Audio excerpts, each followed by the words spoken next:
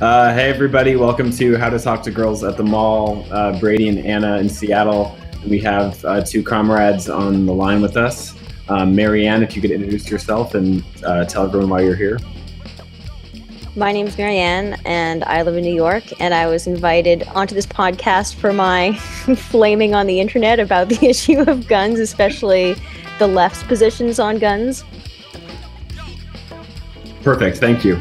And uh, we also have Alex, who is in Washington State. Alex, can you tell us a little bit uh, who you are and why you're here?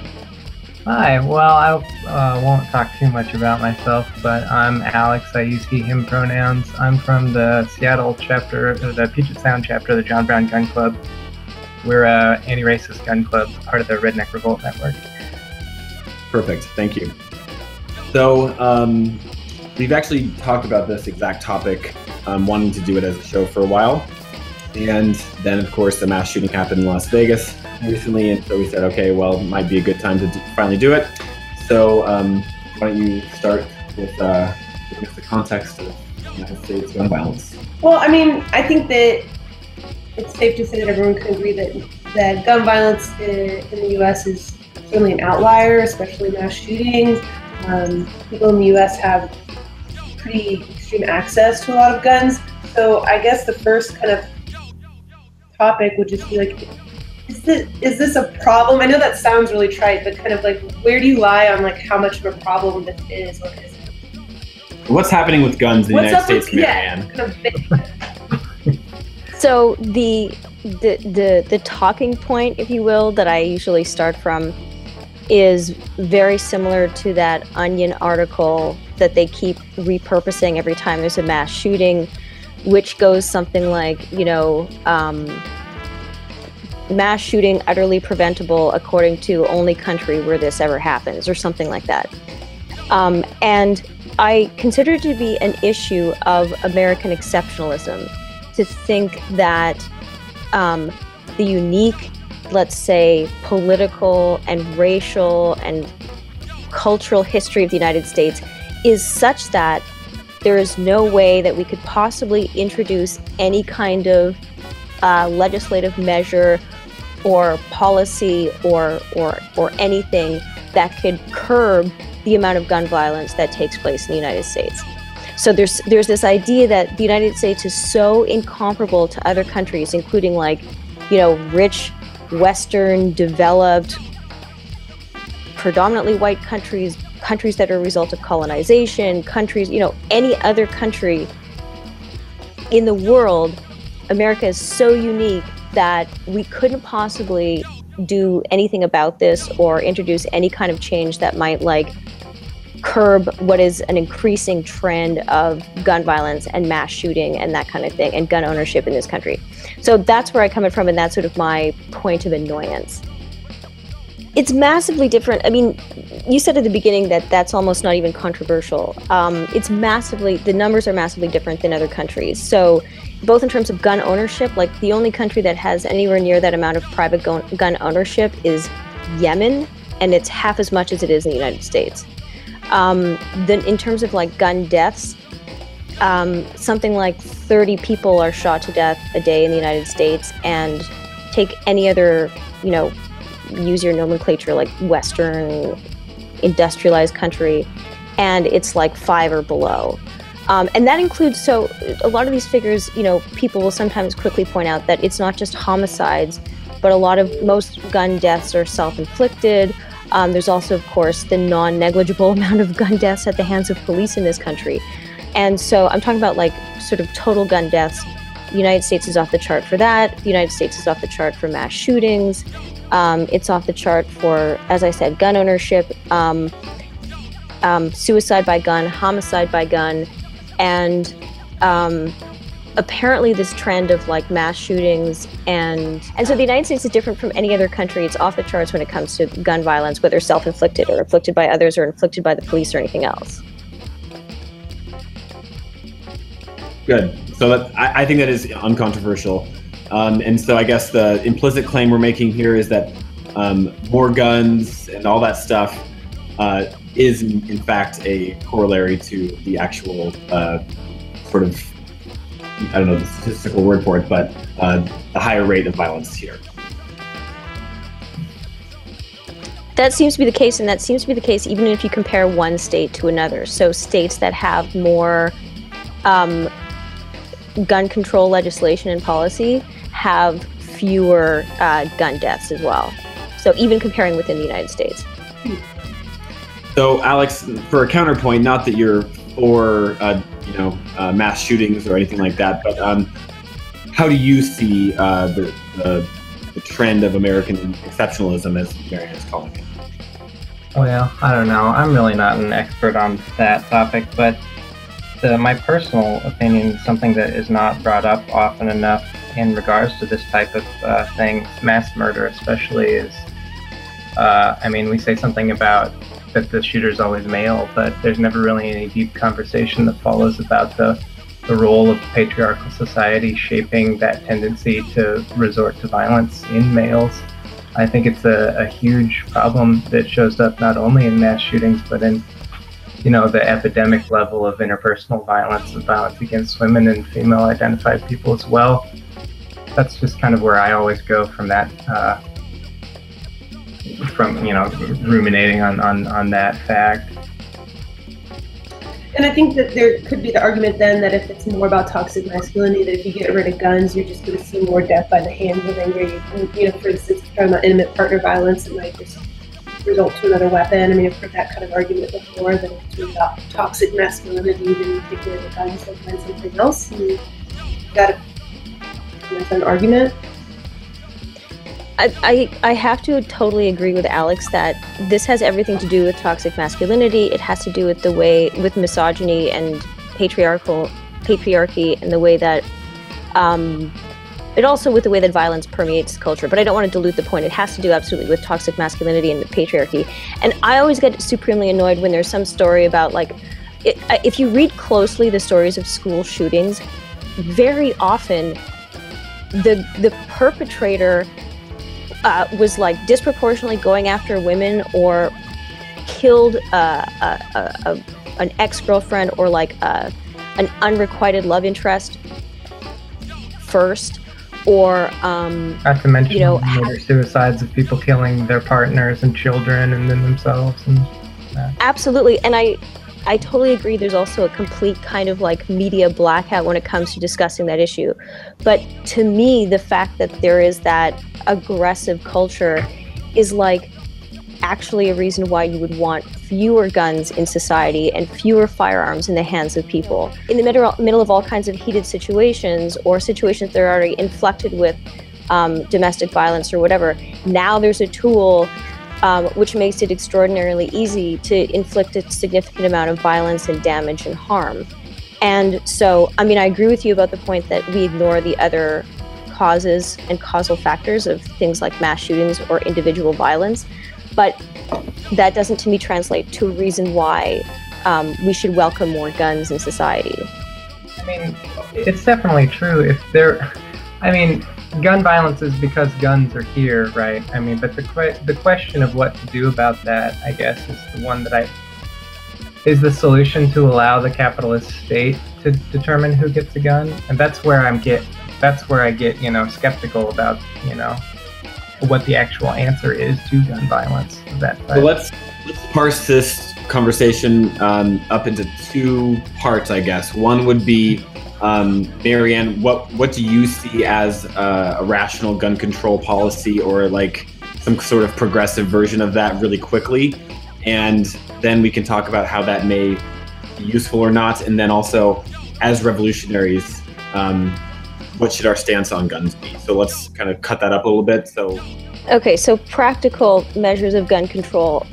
Um, circling back to the issue of domestic, domestic violence, for example, in Canada, if you want to get a gun license, and you can own, you know, a variety of firearms in Canada and a number of firearms and like, you know, handguns, whatever.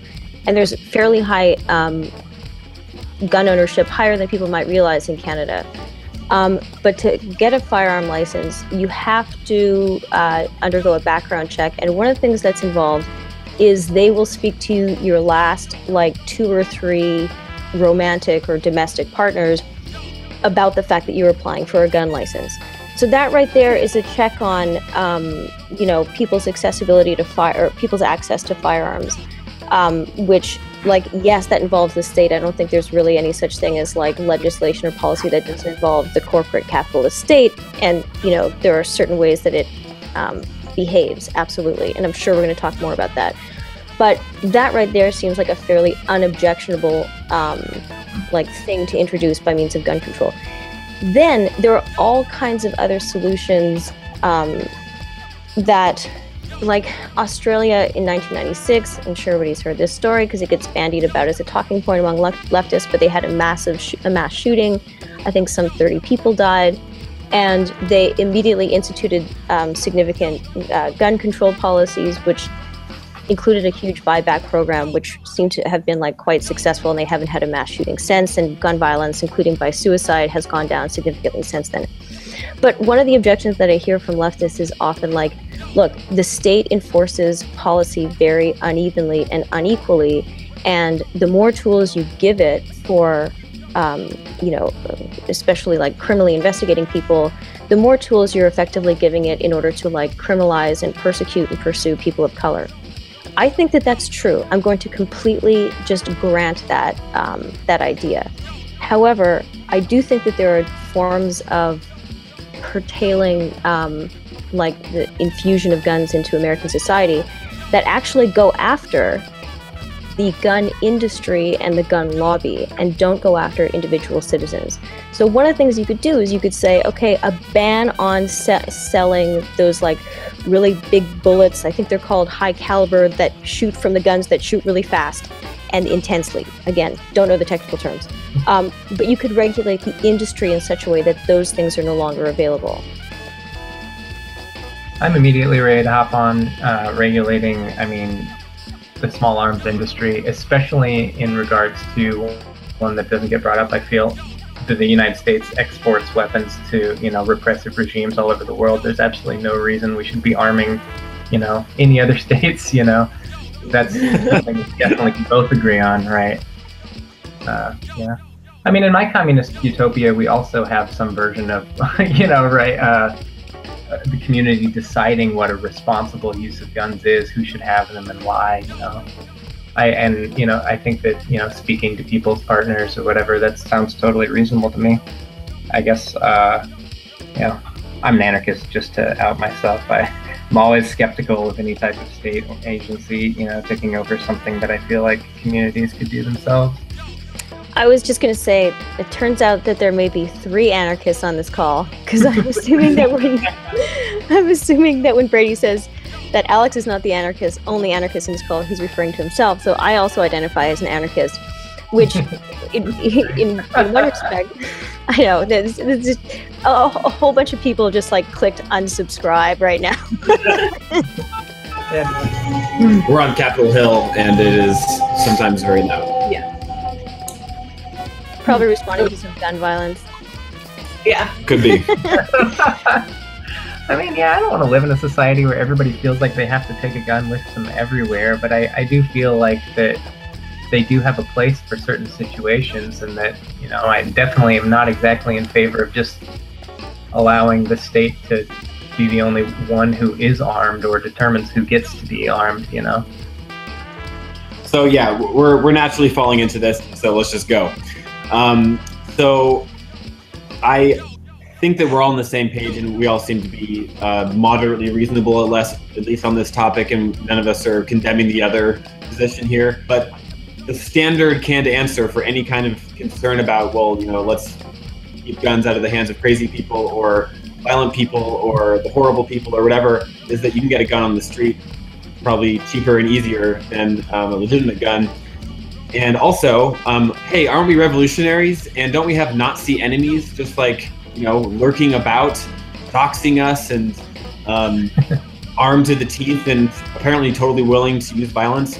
Um, so, isn't that a part of it? I mean, I'll just say right now that um, I was at the January 20th um, Milo event at the University of Washington where uh, someone was shot by a member of the alt right. So, um, it was, it was a wake up call that this is a different period uh, politically and, and some different forces at play. So um, I don't have a definitive, you know, um, billboard answer for us. So I'm, I'm hopefully just going to get the smart people to talk well, I mean, yeah, I mean that that kind of. I mean, I'm interested in doing this kind of work because nonviolence is great and extremely effective, but it's a deeply personal choice, and not everyone, when faced with you know physical harm or the type of harm that's represented by Charlottesville, is going to want to choose to be nonviolent. And I think that you know I would like to help to create a space where marginalized people, you know, trans people, other queer people, people of color feel safe to come and learn how to defend themselves. And if that practice involves guns, you know, to learn that too, because the gun culture that does exist in the country is actually, you know, not something that people uh, from marginalized communities feel safe participating in if they want to go take a gun safety class. So that's that's my personal uh, uh, driving interest in trying to do this kind of work. So I I've often also heard the argument that um, guns are especially necessary for people who come from communities that are, you know, uh, uh, significantly marginalized, subject to violence. That includes people of color, women, you know, trans people, obviously. And again, I, I have to let me kind of state my position as an outsider because, in, in addition to being an anarchist, I'm also secretly Canadian.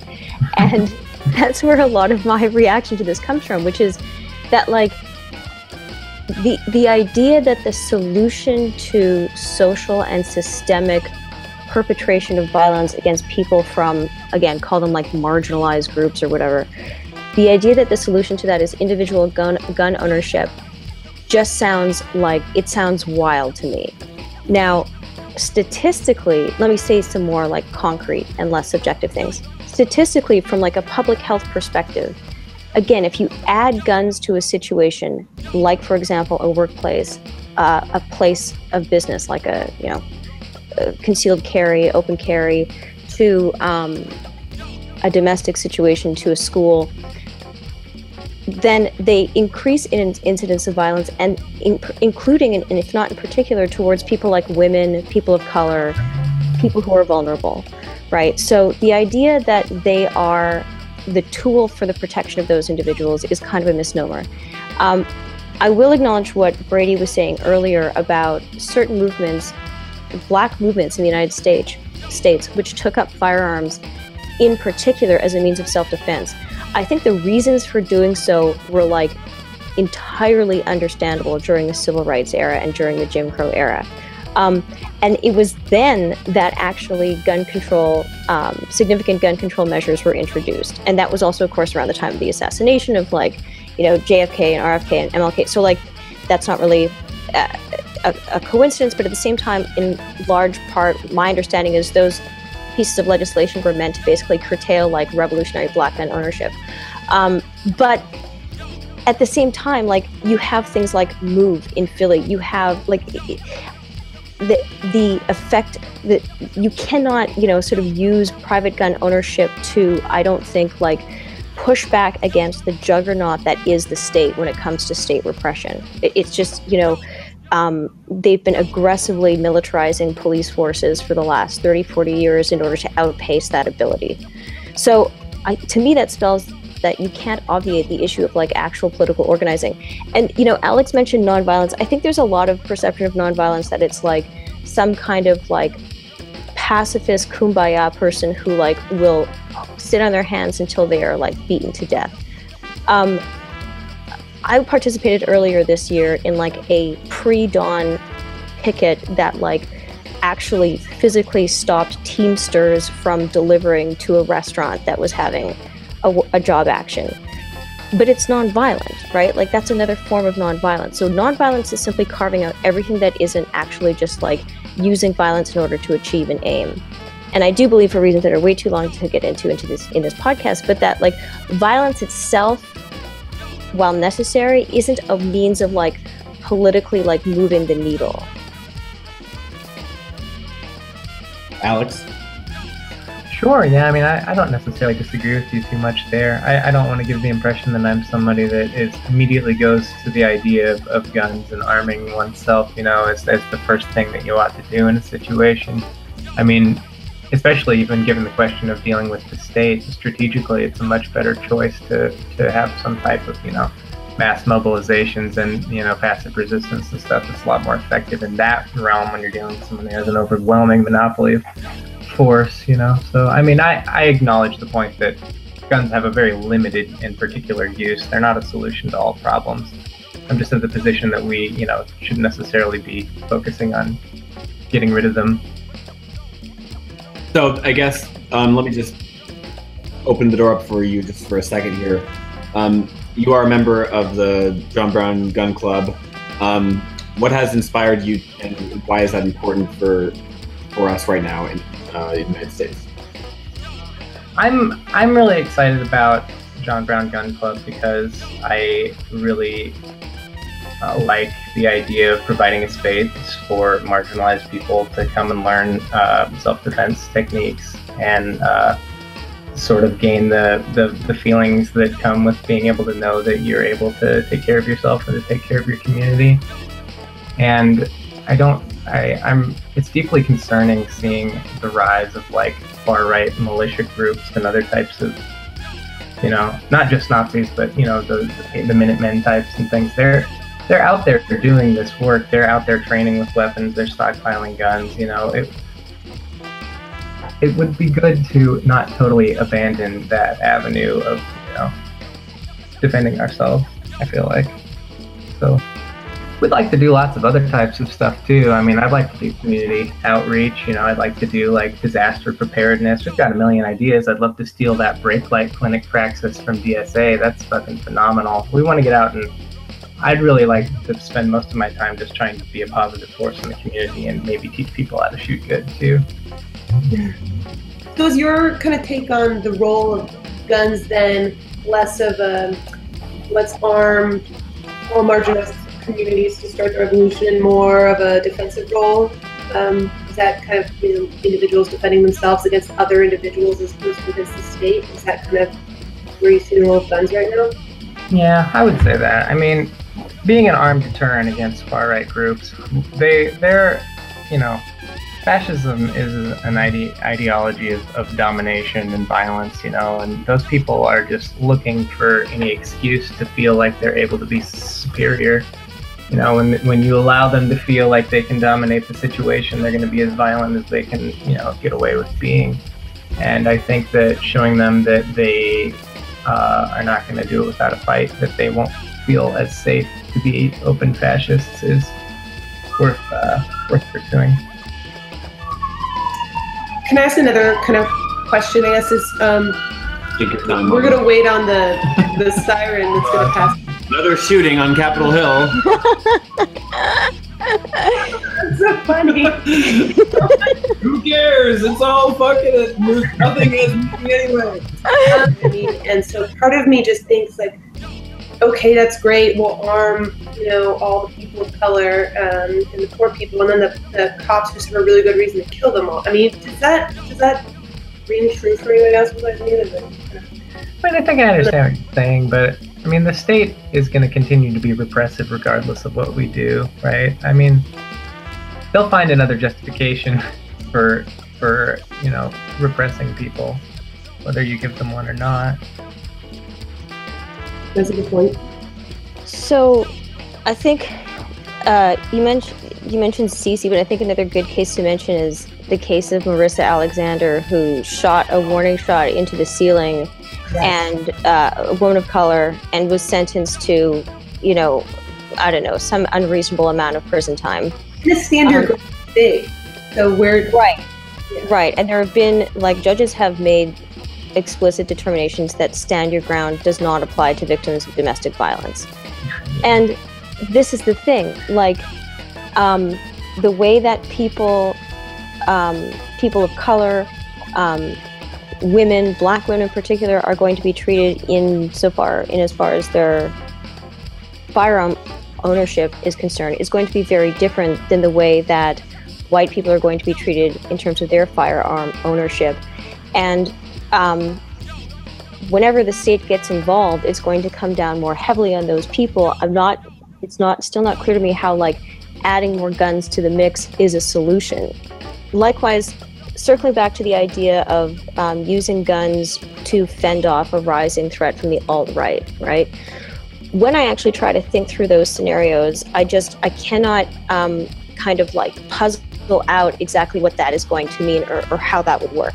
Right? It sounds like a good idea. It feels like a good idea, but then I'm not quite sure how it works in practice. So, for example, um, the rally in Boston by I forget whether it was the Proud Boys or whoever that was like massively, massively shut down with a 20,000 person, person counter demo. I think that that was much, much more effective, much more lasting, much more significant than the skirmishes that have happened where there have been like a relatively equal number of like um, alt right people and left people. Um, and in that case, like the coefficient of effectiveness is just like numbers and not like individual guns. Um, when it comes to the incident that happened at the University of Washington and the shooting that happened there, again, like if there had simply be, been more guns among that crowd, I don't think that that that would have set anything off other than a bunch of confused firing that would have resulted in even more injuries. Um, like it's just not clear to me how you actually cash this out. I think a better defense against the alt right is a massification against them as opposed to, you know, and I think about this in terms of like the workplace stuff that I'm involved in, you know, and I, again, I just, I, there's no scenario in my brain in which like us having a bunch of people who, there who are armed forestalls the violence. I mean, people have reported from Charlottesville and everywhere else that this kind of stuff happens, that the cops you know, the people that the cops go after to disarm, again, by by the argument that the left itself is making, are like the left wing people. The cops don't move in to disarm the militias and the right wing people. And okay, I'll make a final point, then I'll shut up because I'm talking too much. But like, if if what you want ultimately is some kind of overt confrontation between the far right and the left, or if you think even that such a thing is inevitable, I hate to say, and this is not like a polemical point. This is just like an actual assessment of reality. We're going to get our asses kicked. You know, like the, the far right and the fringe right and the alt right is where there's way more um, people who come from like military backgrounds, police backgrounds. They, you know, like I don't think that having a John Brown gun club is any match for their um, weapons training and experience and and like engagement. Alex? well, we'll do our best. No. Um, I, I, definitely think that I, I guess I, I, should differentiate between, you know, retaining and owning guns and practicing with them and using them for self defense isn't necessarily exactly the same thing. It doesn't mean you have to carry them at a protest. I know that there are some anti fascist organizers who I respect who actually disagree with that practice, like Scott Crow, for one, oh, you know, saying that it's alarming that people feel empowered to take their their guns with them to a protest. So that is something that people in the network engage in. I, I think that the Redneck Revolt Network put out a, a podcast recently where they have a, a first-person like interview with someone who was on the ground at Charlottesville. That I, I feel like it makes the point that what they were doing was valid. Obviously, the question of whether you want to take guns to a protest is, is something that's very, very specific. You know, it depends drastically on the situation and what your assessment of the risks are and, and the benefits. And certainly something like Boston is preferable if you can just get like a thousand times more people to come and shut the park down before they can even get there. That's that's great. You wouldn't want to have to revert to you know anything more risky than that. But I don't think that that's an argument that we shouldn't maintain the capacity to meet force with force if we're required to. And I'll just jump in and say that um, I think that's pretty much where I land, and I'm going to mostly try to stay out of the um, debate here, but I do want to maybe post to Marianne. Um, from a game theory perspective, if they know that we are not interested in uh, building that capacity or sort of just never will, you know, um, does that disempower us? And um, yes or no? Or- Again, what I'm trying to figure out, like, what kind of scenario you're envisioning. Are you envisioning a sort of like shootout or showdown at the OK Corral? Are you envisioning that like both sides protest get more and more armed, and there's always that potential of violence, sort of like beneath the surface, but knowing that both are armed it never breaks out. Like I'm trying to figure out exactly what the scenario is, and I'll say I'll just I'll speak to like my own chauvinism. So like besides being Canadian, I'm also a mom, a, a, a mom of a little boy, and like you know, I just looking at you know statistics again the the sort of like epidemiology just from a public health perspective in a household where there's a gun you know my kid is too young to do this now but it's not that like my kid it's not like sufficient to put a gun on a top shelf where a kid can't reach it because like six and seven year olds can move chairs and climb on them and they're really curious and um, kids like to push boundaries. Likewise if i go to a protest like my kid comes with me wherever i go and that's partly just because he's still nursing.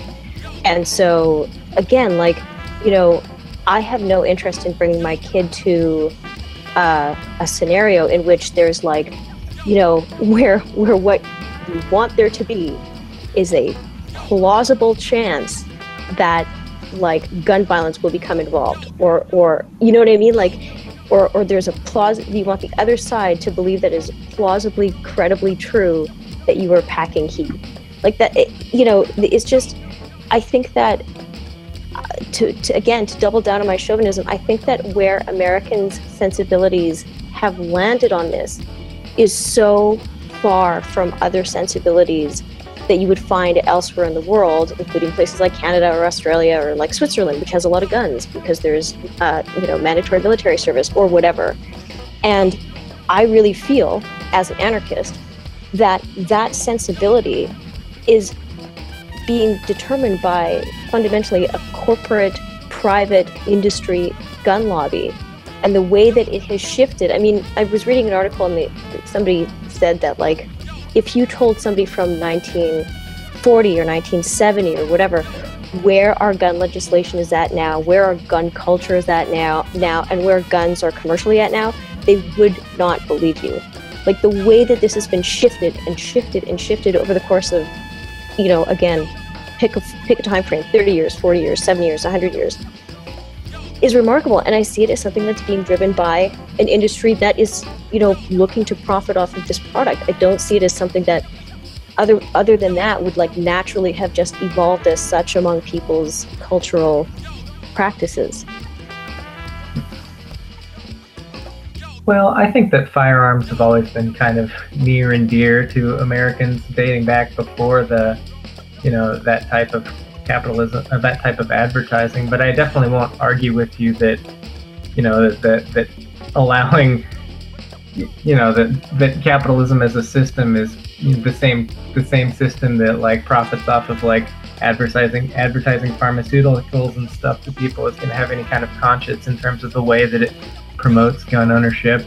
If you look at any of the, a lot of the, you know, a lot of the major organizations, like the NRA is a deeply racist and abhorrent organ, organization, right? But uh, so I won't argue with you in terms of the way that guns are promoted, especially by you know manufacturers and the people that sell them. But uh, I don't think that that necessarily means that they don't have value, and I don't I, I don't think that the sentiment that people have about firearms in this country as like a like a validation of you know like Orwell's symbol of democracy. You know, the rifle on the wall is the symbol of democracy. That type of feeling that people have about it only comes from from advertising.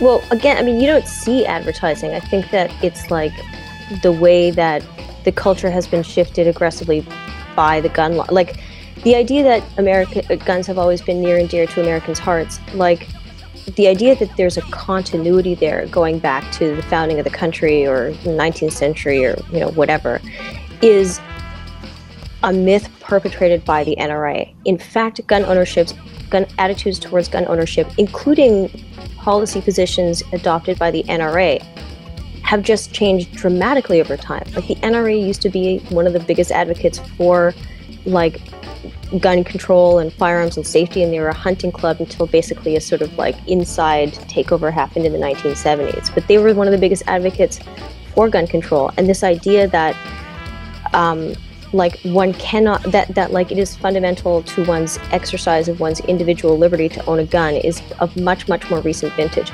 I don't think the idea of guns being near and dear to Americans' hearts going back hundreds of years is any truer then other places that have legacies of like frontiership and colonialism, like Canada, Australia, etc.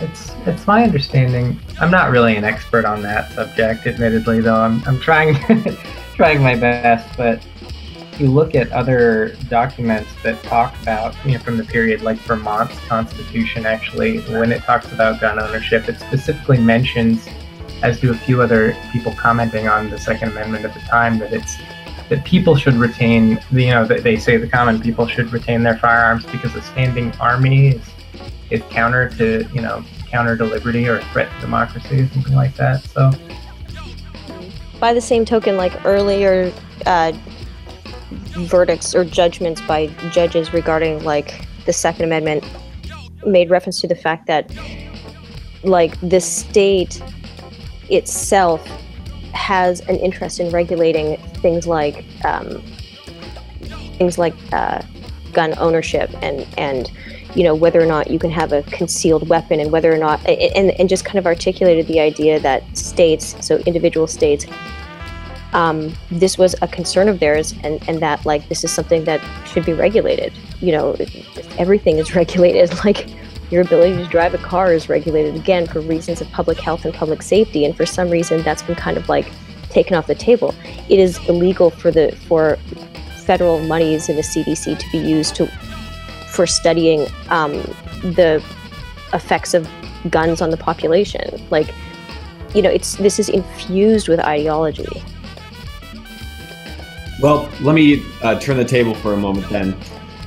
So, uh, Marianne, if we're not going to fight fire with fire, um, let's say with the alt right in the short term and uh, ultimately in some kind of military conflict in the uh, pending uh, anarchist revolution that we all uh, want, what does um, self defense and uh, winning revolutionary uh, situations look like? um, if we've sort of moved away from guns or something like that. Like, what does that look like? Well, again, like self defense to me does not mean some kind of like, you know, Wild West John Wayne situation where you each draw your like six shooter from your hip. Like, the, to me, the self defense of um, people like you know the working class or or um, trans people or people of color, women, looks like the political mobilization, which, you know, we could have a whole other podcast about that. I have ideas about what it looks like in the case of labor, which is like solidarity unionism, um, in which um, direct action is and, and, and immediate like refusal and shop floor action is mobilized in order to take power away from the boss and put it in the hands of the working class, for example.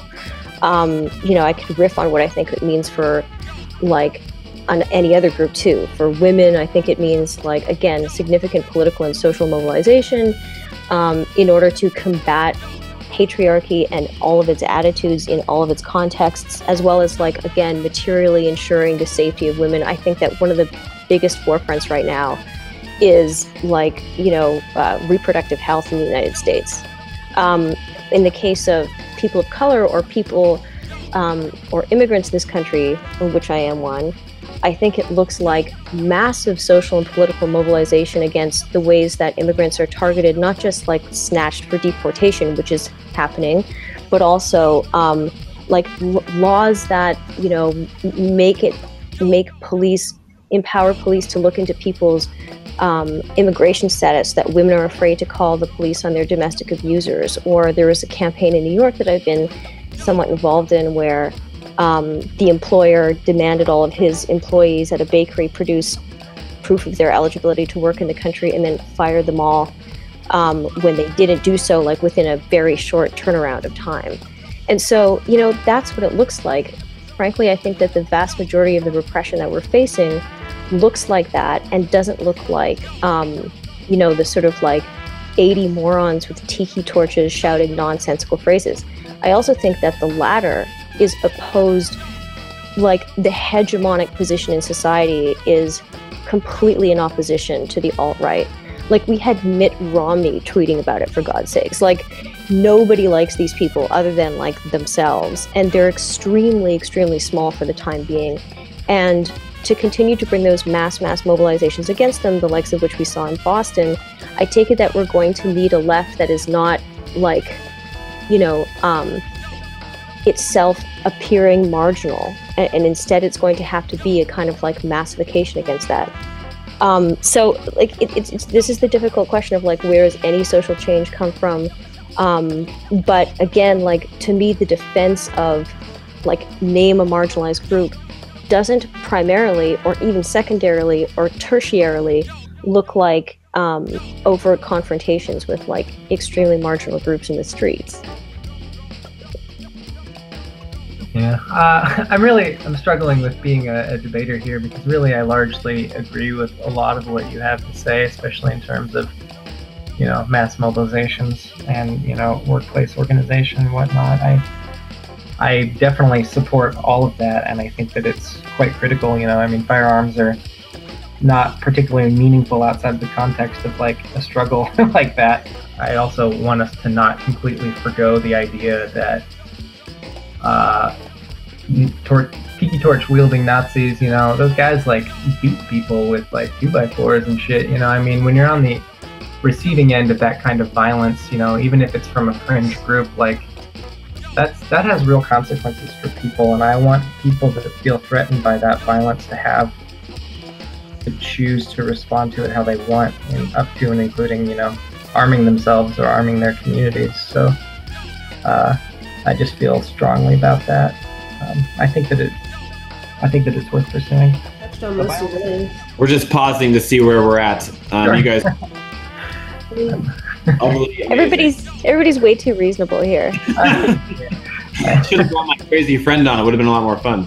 Yeah. But I think it's important to show that this like doesn't have to be a extremely emotional um, debate because that's where it goes a lot. And I think that this is, there's a lot of utility in showing that even opposing sides have a lot more in common than you might think, and it doesn't have to resort to hyperbolic name calling, you know, So here's here's my maybe last thing that keep it moderately short, hopefully at least. Um, I think this was touched on earlier. So the conditions of let's say the '60s um, were such that it was really understandable for uh, uh, black self-defense groups to pop up and um, push that line. Um, are conditions different now? Um, if so, why? Why is why is that strategy maybe not uh, just as important, if not more?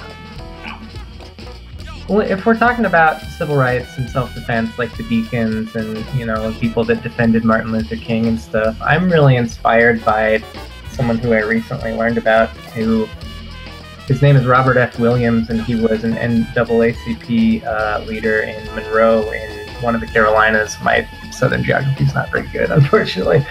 But uh, he was a vet, and he came back after the war to lynch mobs, you know, and uh, Jim Crow, and he organized his community to defend uh, itself against the Klansmen. But he he has a, there's a, he wrote about his experiences in an autobiography. It's called Negroes with Guns, and he he makes the point that even though they they had these they like you know they had an armed self-defense unit that they would set up outside people's houses so when the klansmen rode by they would you know scare them off with their sandbags and rifles and stuff.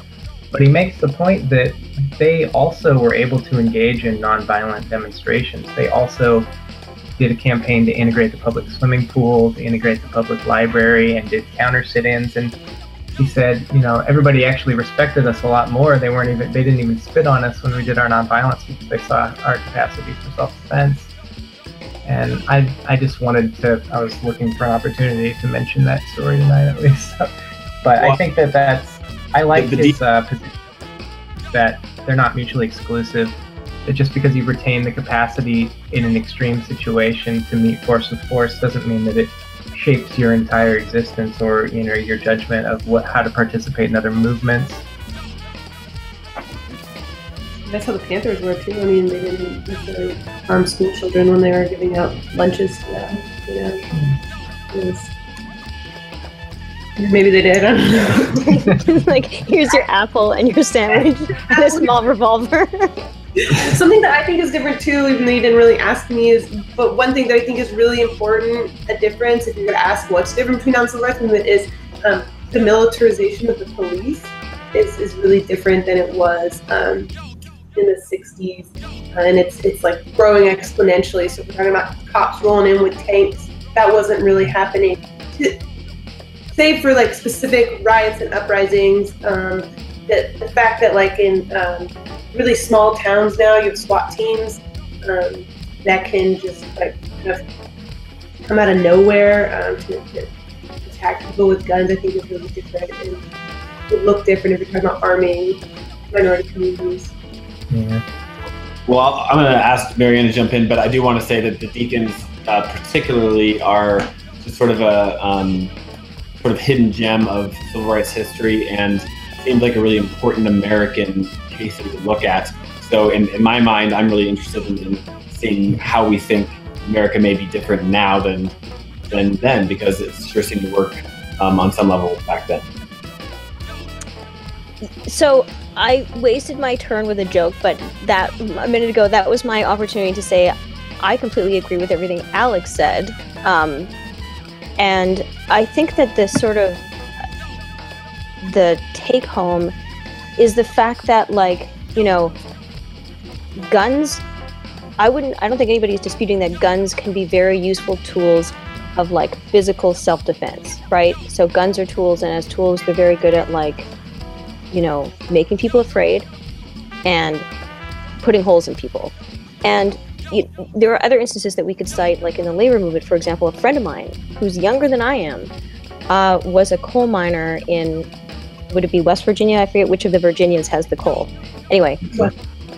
Okay, and uh, at one point, their union um, used their dues funds to purchase firearms for everybody in the local um, to prevent, you know, the sort of like whatever modern day Pinkertons, you know, the cops from like, um, like coming and repressing people.